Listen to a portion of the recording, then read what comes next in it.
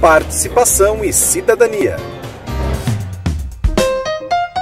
O chamado dinheiro público do município é tudo que o governo municipal arrecada através do recolhimento de tributos pagos por seus cidadãos e empresas. Esses tributos são os impostos, taxas e também contribuições de melhorias. Esse valor é somado ao que o governo municipal recebe através de repasses dos governos estadual e federal, compondo assim os recursos financeiros do município. Quer saber mais? Então acesse observatóriopiracicaba.org.br.